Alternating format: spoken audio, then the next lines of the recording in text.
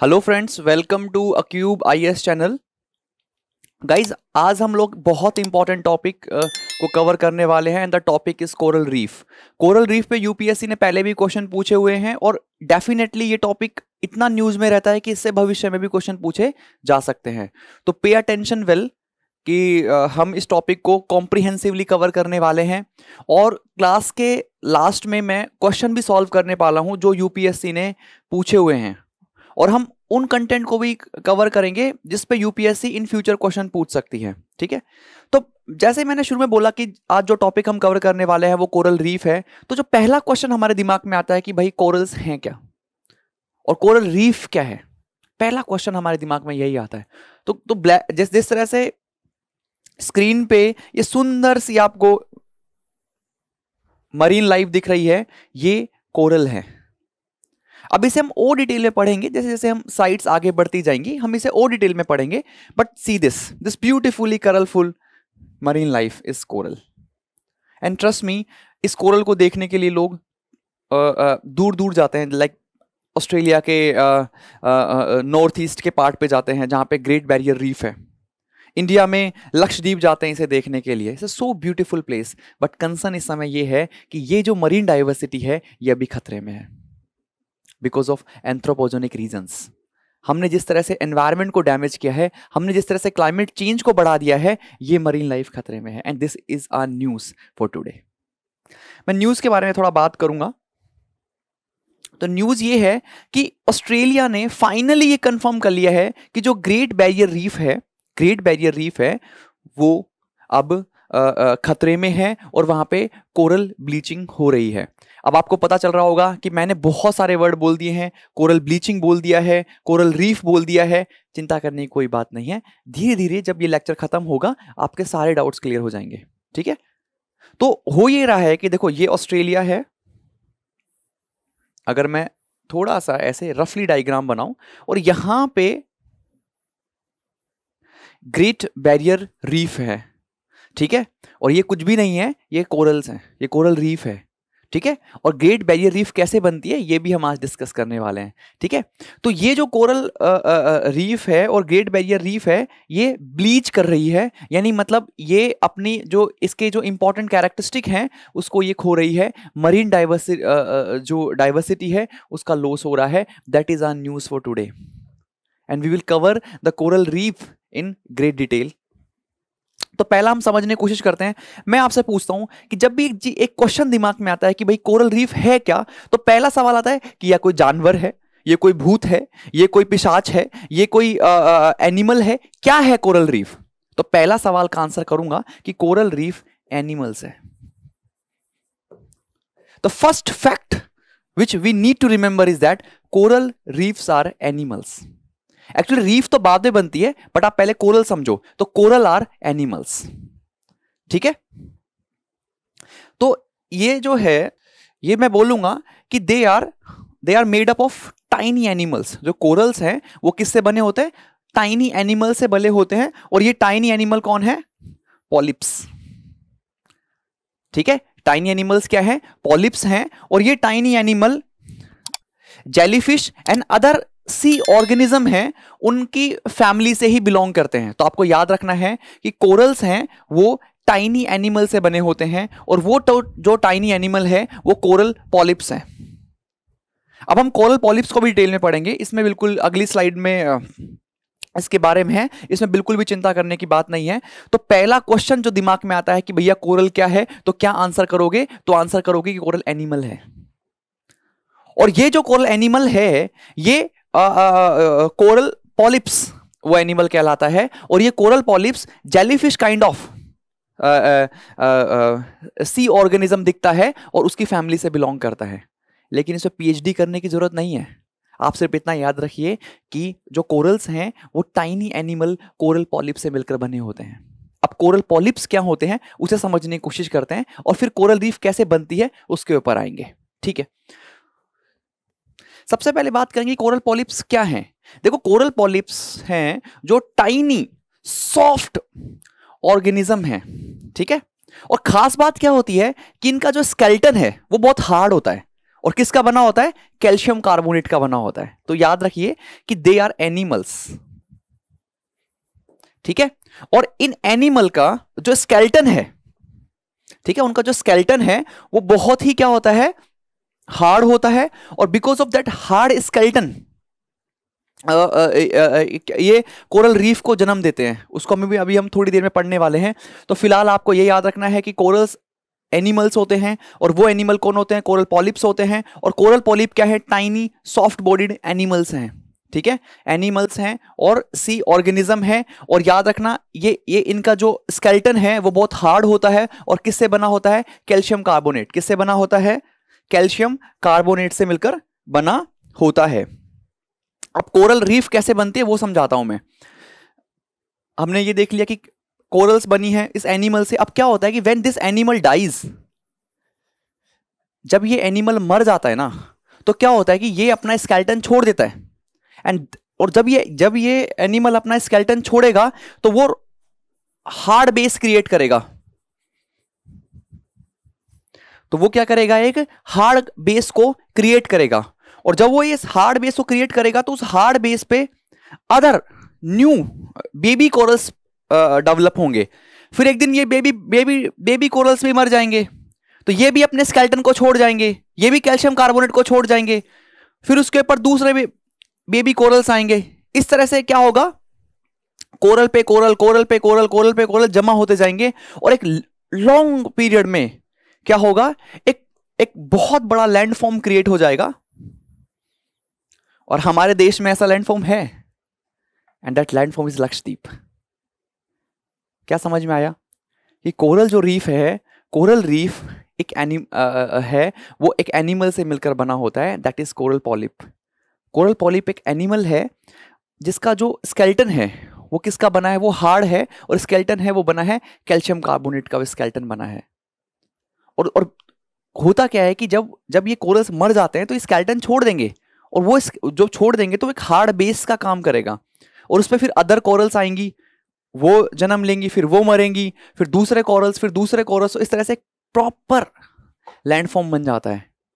और यही लैंडफॉर्म तुम्हें दुनिया में बहुत सारी जगह मिलेंगे। एक आइलैंड की तरह, जैसे भारत में क्या है? लक्षद्वीप। उसके बाद फिजी है जो इंडोनेशियन है। There so many coral islands you can find there mechanism यही है। देखो there are two type of coral hard coral and soft coral ज़्यादा डिफ़िकल्ट नहीं है ये। हार्ड कोरल मतलब जिनका स्केल्टन हार्ड है। मैंने बताया कि जो कैल्शियम कार्बोनेट से बने हैं और वो एक आइलैंड फॉर्म कर सकते हैं। सॉफ्ट कोरल नहीं कर सकते, ऐसा। बस इतना याद रखना है, बिल्कुल भी इंपॉर्टेंट नहीं है एग्ज़ाम पॉइंट ऑफ़ व्यू से, बस एक कंप्लिसिटी के लिए मैंने इसे ऐड किया है। आगे बात करेंगे कि एक अच्छे कोरल की ग्रोथ के लिए क्या कंडीशंस होनी चाहिए। स्लाइड पे लिखा है, लेकिन मैं जो बोलूँगा उसको ध्यान रखना है। सबसे पहले बात, ये वोम वाटर को प्रेफर करती हैं, ठीक है? ये किसको प्रेफर करती हैं? वोम वाटर को। मतलब पानी लगभग लगभग ये देखो इस तरह से है तो ऑलमोस्ट जो कोरल्स हैं, वो आपको ट्रॉपिक्स के बीच में ज़्यादा मिलेंगी। ठीक है? मिल तो कहीं पे भी जाएँगे, लेकिन mostly they are find in tropics तो they prefer the warmer water गर्म पानी को प्रेफर करती हैं। हमेशा याद रखिए। ठीक है? तो मोस्टली ये लोग आपको मिलेंगी 30 डिग्री नॉर्थ से 30 डिग्री साउथ अब ये हार्ड एंड फास्ट नहीं है। कहीं डिस्कस करने लग जाओ कि अजी साहब दूसरी किताब में तो इकतीस लिखा है। मैंने कहा कि जनरली मोस्ट ऑफ़ टाइम ये इसी ही रेंज में मिलती हैं। अब एक आठ डिग्री ऊपर, एक आठ डिग्री नीचे से एग्ज़ाम में आपको परेशान नहीं किया जाएगा। तो mostly they are found in tropical waters remember this first fact second ना इनको ज़्यादा साफ़ पानी पसंद है, ना इनको ज़्यादा सलाइन पानी पसंद है। मॉडरेट वाटर मतलब ना तो बहुत ज़्यादा सॉल्ट हो और ना बिल्कुल फ्रेश हो। तो एक चीज़, दूसरी चीज़ आपको ये याद रखनी पड़ेगी। पहला ट्रॉपिकल वाटर प्रेफर करते हैं ये लोग। दूसरा मॉडरेट सॉल्ट होना चाहिए इसके अंदर, ठीक है? डेफ्थ थोड़ी शैलो होनी चाहिए, ठीक है? डेफ्थ कैसी होगी पानी की? शैलो तो शैलो डेफ्थ का मतलब है कि सनलाइट सही से पेनेट्रेट करे। सनलाइट सही से पेनेट्रेट करे, तब इनके लिए अच्छा होगा। तो तुम्हें क्या क्या समझ में आया कि कोरल ग्रो होने के लिए क्या चाहिए? कोरल ग्रो होने के लिए सबसे पहले बात तो पानी की डेफ्थ ज़्यादा नहीं होनी चाहिए। दूसरी बात आपको यह याद रखनी है कि पानी गर्म होना चाहिए ठीक है? तो tropical water is perfect one और तीसरा मैंने आपको बताया कि पानी इतना ज़्यादा फ्रेश हो यानी इतना फ्रेश भी नहीं हो आ, आ, आ, नहीं हो कि बिल्कुल सोल्ट नहीं है और कि भाई उसमें न्यूट्रिएंट ही खत्म हो गए और इतना सोल्टी भी ना हो कि उसमें आ, आ, बहुत ही ज़्यादा मतलब सोल्ट है कि भाई न्यूट्रिएंट ही खत्म हो गए।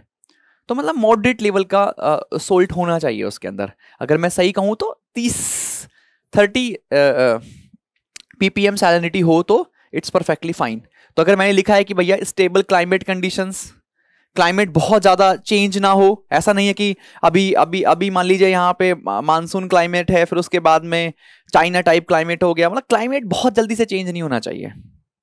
ठीक है?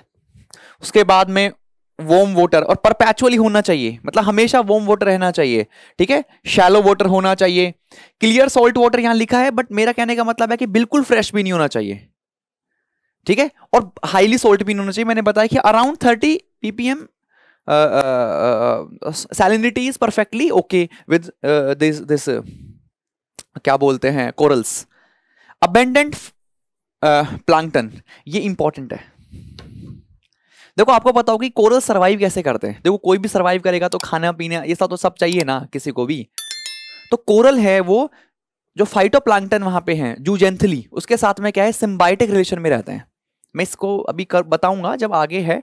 तो क्या होता है कि जब ये जो कोरल्स हैं, वो जू जेंथली के साथ में सिम्बाइटिक रिलेशन में रहते हैं तो होता क्या है कि ये दोनों एक दूसरे को सपोर्ट करते हैं। अब मैं बताऊँ तो सपोर्ट क्या है, देखो। जू जेंथली क्या है प्लांट है। प्लांट क्या करता है? फोटोसिंथेसिस करके फ़ूड प्रिपेयर करता है और उस फ़ूड पे कौन निर्भर है? कोरल्स। और कोरल उन जू जेंथलीज को रहने के लिए जगह देते हैं। तो इन दोनों का सिम्बाइटिक रिलेशन है। जू जेंथली को घर मिल जाता है रहने के लिए और कोरल्स को फ़ूड मिल जाता है सरवाइव करने के लिए। तो इस तरह के सिम्बाइटिक रिलेशन में रहते हैं और जब कोरल ब्लीचिंग होती है तो क्या होता है कि ये जू जेंथली है ना, ये छोड़ के चला जाता है। किसको छोड़ के चला जाता है? कोरल्स को। अब कोरल के पास फ़ूड नहीं रह पाएगा तो तो इवेंचुअली दे डाई और जो ब्यूटीफुल कलर कलरफुल आपको आ, आ, मिल रहा था कोरल्स वो नहीं मिल पाएगा। नहीं? तो मैंने बताया कि आपको तीन चार चीज़ें याद रखनी है। वॉर्म वाटर हो मॉडरेट सैलिनिटी हो उसके बाद में मॉडरेट सैलिनिटी हो और शैलो वाटर हो। मैं तो तीन बातें ही आपको बताऊँगा। बहुत और भी अच्छी चीज़ें बताऊँगा। याद रखना, कोरल का जो कलर है, वो कोरल का कोरल का अपना कलर नहीं होता है। कोरल का कलर जू जेंथली की वजह से उसके अंदर आता है। पहला चीज़ आप ये याद रखिए। ठीक है, ये भी मैंने यहाँ पे बता दिया है। और इसका जो सिम्बायोटिक रिलेशन है, वो भी मैं आगे डिस्कस करने वाला हूँ। आप बस वीडियो में मेरे साथ चलते रहिए। गाइज़ ये ग्लोबल डिस्ट्रीब्यूशन है कोरल्स का। देखो मोस्टली कोरल्स आपको यहाँ मिल रही हैं। थोड़े कोरल्स आपको यहाँ भी मिल रहे हैं। लेकिन एक चीज़ क्लियर दिख रही है। एक चीज़ यहाँ पे क्लियर दिख रही है हम सबको कि जो कोरल्स हैं, वो इक्वेटर के आसपास हैं, या ट्रॉपिक्स के बीच में हैं। देखो मोस्टली जो कोरल्स हैं, वो कॉन्सेंट्रेटेड हैं ट्रॉपिक्स के आसपास। और एक बहुत ही बेहतरीन फैक्ट बताता हूँ कि 50 परसेंट कोरल या मोर देन 50 परसेंट कोरल वो इस रीजन में है। Indonesia Fiji Australia New Papua Guinea. तो यहाँ पे मोर देन 50 परसेंट कोरल्स हैं। गाइज़ याद रखना डिस्ट्रीब्यूशन हमेशा से एग्ज़ाम के लिए इंपॉर्टेंट रहा है। तो I just want to I just want to give you the brief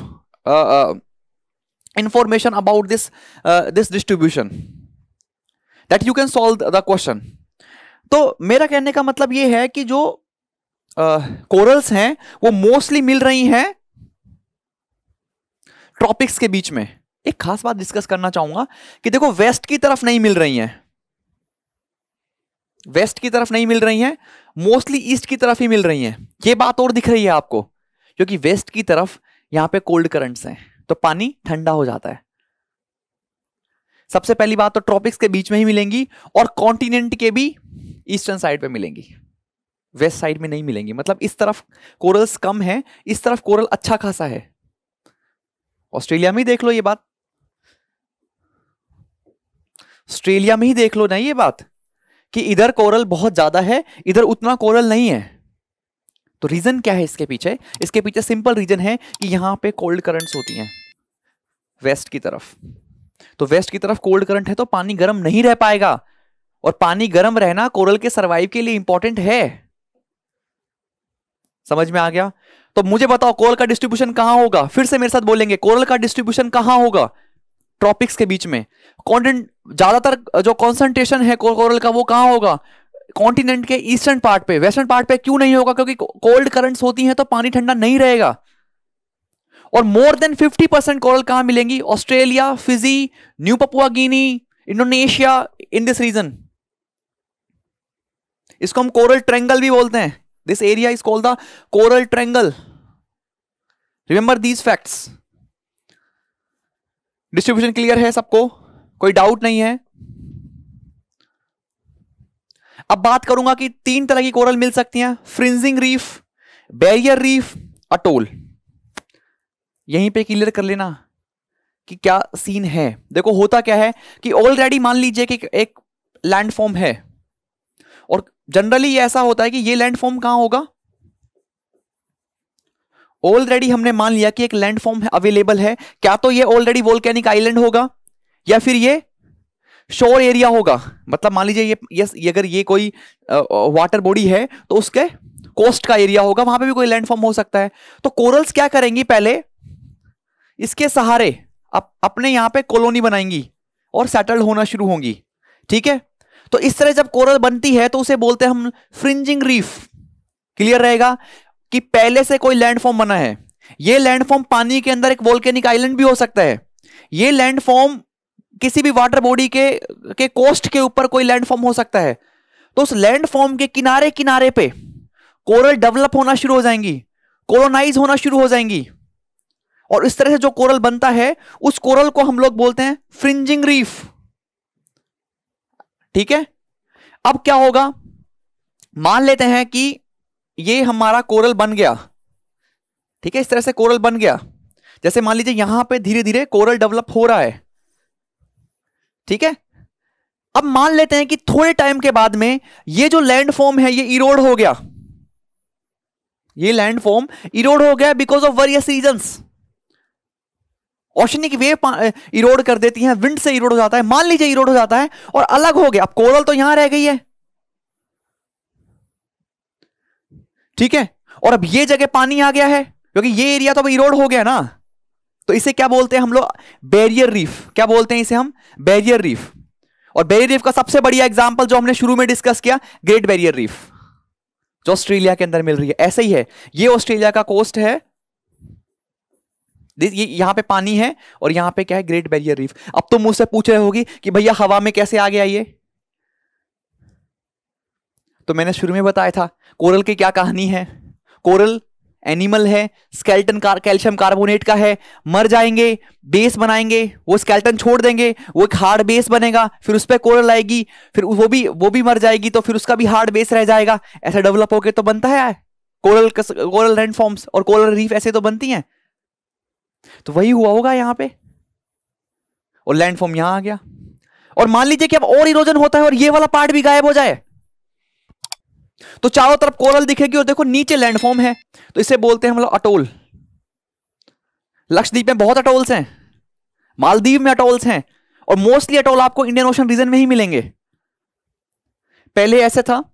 side side में कोरल डेवलप होना शुरू हुई। इसको हमने फ्रिंजिंग रीफ बोला। फिर ये वाला पार्ट इरोड हुआ। तो थोड़ा सा कोरल्स और इस ऐसे आइलैंड के बीच में कनेक्शन टूटा। And we called the Great Barrier Reef और बाद में ये डेवलप हो, ये ही, पूरा ही इरोड हो जाता है बहुत सालों में। तो चारों तरफ़ रीफ ही रह जाएगी, ये पार्ट नीचे है और ऊपर इस रीफ के इस तरफ़ पानी पानी है and then we call it atoll ठीक है? जैसे मालदीव में है, अड्डू अटोल चाइना डेवलप कर रहा है इसको इसको। क्लियर रहेगा ये सब बातें? मुझे बताओ इन तीनों में कोई दिक्कत? Now you should not feel any difficulty in in defining what is the fringing reef what is the great barrier reef and what is the atoll should have crystal clear uh, understanding. जो मैंने बताया कि देखो coral bleaching को हम समझने की कोशिश कर रहे हैं। अभी तक हमने कोरल को समझ लिया है। कोरल को सरवाइव के लिए क्या कंडीशंस चाहिए? कहाँ मिलती है? ठीक है? टाइप ऑफ़ कोरल्स क्या हैं? कोरल वास्तव में खुद क्या है? ये सब समझ लिया है। कैसे कोरल आइलैंड्स बनते हैं? जब मैं लक्षद्वीप पढ़ाऊँगा, तब मैं फिर वापस से बताऊँगा कि लक्षद्वीप कैसे बना है। फ़िलहाल अभी ये याद करो कि सरवाइव कैसे करती है कोरल? तो मैंने बताया कि कोरल जू जेंथली ये क्या है? प्लांट है। याद रखना एल्गी है। ये एक एल्गी है। ठीक है? तो ये ये ये प्लांट है। एक सेकेंड तो ये क्या है? एक प्लांट है और ऑटोट्रॉफ है, जो फोटोसिंथेसिस करके क्या कराती है? खाना बनाती है। और ये खाना कौन कंज्यूम कर लेता है? कोरल। तो जू जेंथली कोरल को खाना देगी और कोरल जू जेंथली को रहने के लिए जगह देगा। इस तरह से ये दोनों क्या रहते हैं? सिंबाइटिक रिलेशन में रहते हैं और सरवाइव करते हैं। ये बात क्लियर है? कि जू जेंथली, फिर से बोल रहा हूँ मैं, जू जेंथली एक एल्गी है फाइटोप्लांक्टन है और एक प्लांट है। और, और आपको पता है कि प्लांट ऑटोट्रॉफ्स होते हैं खुद का खाना खुद बनाते हैं एनिमल्स ऑटोट्रॉफ नहीं होते हैं। ठीक है? तो generally I am not giving an extreme status generally animals नहीं होते हैं बट जैसे कुछ एनिमल्स हैं जो ओशन बॉटम पे हैं वो कीमोथिंथेसिस करते हैं। बट वो चीज़ें अभी आज हमारे सब्जेक्ट का पार्ट नहीं है। बट आप ये देखिए कि जू जेंथली प्लांट फाइटोप्लैंक्टन है प्लांट है सनलाइट से को यूज़ करके फोटोसिंथेसिस से खाना बनाती है कोरल कंज्यूम दैट फ़ूड और कोरल जू जेंथली को क्या देंगे? रहने की जगह देंगे। और दोनों सिम्बायोटिक रिलेशन में रहते हैं। इस तरह से कोरल सर्वाइव करती हैं। अब हो क्या रहा है? इस मुद्दे पे आते हैं। अभी तक तो बेसिक पढ़ रहे हैं कि कोरल्स क्या हैं, कहाँ मिलती हैं, क्या कंडीशंस उनके सर्वाइव करने की हैं, किन कंडीशंस में वो ग्रो कर सकती हैं। अब हो क्या रहा है? समझते हैं। देखो अब हम दिक्कत हो रही है कोरल ब्लीचिंग की। जो सुंदर सा कलर दिखा था ना पहली स्लाइड में, वो कलर गायब हो रहा है और बिल्कुल सफ़ेद दिख रही है कोरल्स। सफ़ेद दिखने का मतलब है कि कोरल मर रही हैं। ठीक है? और कोरल मर रही हैं तो ये कोरल के लिए बुरा नहीं है, ये हम मानवों के लिए बुरा है। और अभी मैं इसको डिस्कस करूँगा क्यों। हो क्या रहा है? गाइस, तीन चीज़ें हो रही हैं मेनली एक तो क्लाइमेट चेंज हो रहा है। क्लाइमेट चेंज में क्या है कि टेम्परेचर, देखो ऑलरेडी इनको वैसे वार्म टेम्परेचर चाहिए, लेकिन वो वार्म टेम्परेचर बहुत ज़्यादा एक्सीड कर गया है। वोम का मतलब ये मत समझना कि 50 डिग्री सेल्सियस वो मतलब मॉडरेट टेम्परेचर 27 डिग्री 30 डिग्री। और क्लाइमेट चेंज से क्या हो रहा है कि पानी गर्म हो रहा है ओशन का, एक एक एक एक्सट्रीम लेवल पे। उससे क्या हो रहा है कि जो जू जो जू जेंथली उनको जो खाना दे रही थी, वो गायब हो रहा है, वो छोड़ के जा रही है। कोरल्स को। अब कोरल खाएँगे क्या? And that is why coral are dying तो फ़र्स्ट रीजन जो कोरल का है वो ये है कि change in ocean temperature very very important because of climate change ocean temperature is changing और उस ओशन टेम्परेचर चेंजने से जू जेंथल उनको छोड़ रही है और they are they are there is food crisis for the coral and coral are dying second बात करने की कोशिश करेंगे पोल्यूशन मैंने पहले बताया कि, कि ये पोल्यूटेड पानी में नहीं रह सकती हैं। दे नीड फ्रेश वाटर ठीक है?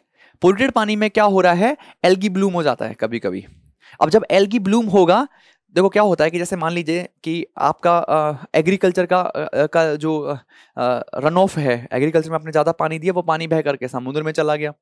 अब एग्रीकल्चर के पानी के अंदर न्यूट्रिएंट्स थे और वहाँ पे एल्गी ब्लूम हो जाता है वहाँ पे बहुत सारे एल्गीज बन जाती हैं। वो एल्गीज क्या करेंगी? फ़ूड कंज्यूम कर जाएँगी जो फ़ूड अवेलेबल नहीं होगा कोरल्स के लिए। ठीक है? पोल्यूशन में एक और खास बात होती है कि जब पोल्यूशन बढ़ जाएगा तो पोल्यूशन बढ़ने की वजह से बायोलॉजिकल ऑक्सीजन डिमांड भी बढ़ जाती है पानी के अंदर। क्योंकि अब डिकम्पोशन बढ़ जाएगा, क्योंकि वहाँ पे ज़्यादा एनिमल्स हैं, ज़्यादा डाइवर ज़्यादा डाइवर्सिटी बढ़ रही है तो वो तो वहाँ पे क्या होगा कि अब डिकम्पोज करने के लिए ज़्यादा ऑक्सीजन चाहिए तो बायोलॉजिकल ऑक्सीजन डिमांड बढ़ जाएगी। अब इसलिए कम ऑक्सीजन रहेगी कोरल्स के लिए वहाँ पे। तो ये पोल्यूशन के साइड इफ़ेक्ट है जो कोरल को अफेक्ट कर रहे हैं। ठीक है? ओवर एक्सपोजर से टेम्परेचर बढ़ जाता है। ठीक है? तो ये मेन रीजन जो हमारे सामने है, वो है कोरल ब्लीचिंग को। तो दो मेन रीजन मैं आपको दूँगा। Pollution over exploitation of the of the ocean resources ठीक है? उसके बाद में fishing over over over fishing तो ये सब चीज़ें हैं जो, और क्लाइमेट चेंज ये सब चीज़ें हैं जिससे कोरल को नुकसान पहुँच रहा है इस वक्त। और वो ब्लीच कर रही हैं। ठीक है? तो इसलिए corals are dying and this is the coral bleaching coral bleaching समझ में आ गया कि कोरल आर डाइंग ठीक है? और जो सिम्बायोटिक रिलेशन है, वो उनका टूट रहा है जू जेंथली के साथ में। और मैं, अब मैं आपको बताऊँगा कि कोरल हमारे लिए क्यों अहमियत है, और कोरल का मरना उनके लिए इतना अहमियत नहीं है, जितना हम मानवों के लिए रहने के लिए इंपॉर्टेंट है। देखो, पहले यहाँ, ये फैक्ट मैंने पहले बता दिया कि more than half of the world coral कहाँ मिलेगी? Australia Indonesia Philippines New Papua Guinea Fiji and and Maldives ठीक है, ये कोई दिक्कत नहीं है। अब यहाँ देखो one percent of ocean floor पे कोरल हैं, लेकिन पच्चीस परसेंट मरीन लाइफ को सपोर्ट करती हैं। एक परसेंट ओशन फ्लोर पे हैं वो, लेकिन twenty five percent marine life को सपोर्ट करती हैं। This is the important fact guys अगर कोरल मर गई तो इस लाइफ का क्या होगा? सोच रहे हो कितना ज़्यादा इकोसिस्टम इम्बैलेंस आ जाएगा? सेकंड अगर बात करने की कोशिश करूँ तो डिजास्टर मैनेजमेंट में मदद करती हैं। सत्तानवे परसेंट वेव एनर्जी को रिड्यूस कर देती हैं कोरल्स नहीं तो जो टाइड्स उठते हैं ना, जो सुनामियाँ आती हैं, वो ज़्यादा आएँगी अब, ज़्यादा इंपैक्ट करेंगी ह्यूमन को। क्योंकि ये जब कोरल वहाँ होती है ना तो ये जब वो कोरल ऐसे खड़ा है पूरा कोरल्स इस तरह से कोरल्स है मान लीजिए तो जब वेव गुजरती है ना तो ये उसकी एनर्जी को एब्जॉर्व कर लेती हैं, ताकि ह्यूमंस को नुकसान ना पहुँचे। तो 97 परसेंट रिड्यूस कर देती हैं। ठीक है? और पैतालीस हज़ार माइल की कोस्ट लाइन से लोगों को फ्लड से बचाती हैं ये। और बहुत सारी चीज़ें बताता हूँ मैं। पोल्यूशन कंट्रोल करती हैं। पोल्यूशन कंट्रोल करती हैं। ठीक है? ये बहुत सारी मरीन लाइफ को सपोर्ट करती हैं जिसका मेडिसिनल पर्पज है। बहुत सारी फिशेस को ये घर देती हैं जिसका जिन फिशेस को हम लोग आ, आ, आ, जो फिशिंग कम्युनिटी है वो यूज़ करती है। अपने सर्वाइव के लिए। तो मुझे बताओ, कोरल अपने लिए ज़्यादा इंपॉर्टेंट है या मानवों के लिए ज़्यादा इंपॉर्टेंट है? हमारे लिए ज़्यादा इंपॉर्टेंट है। तो बोलो, क्या करें? वही करो जिसकी समस्या है। क्लाइमेट चेंज है क्लाइमेट चेंज को कंट्रोल करो। ओशन पोल्यूशन को रोको। ओवर फिशिंग मत करो। और सस्टेनेबल यूज़ करो मरीन रिसोर्सेस का। हो जाएगा सॉल्व ग्लोबल कम्युनिटी को साथ आने की ज़रूरत है। एक देश के बस का नहीं है ये।